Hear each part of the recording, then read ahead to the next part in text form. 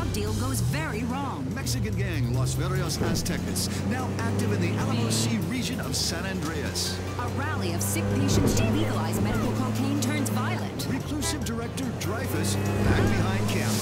Something went very wrong as a drug deal at a recycling plant in La Puerta turned into a violent shootout, leaving several gang members dead and police confused as to what has caused this recent upsurge in extreme gang crime. The police have called for calm and responded by flying a lot of helicopters over poor neighborhoods all night long in a show of community.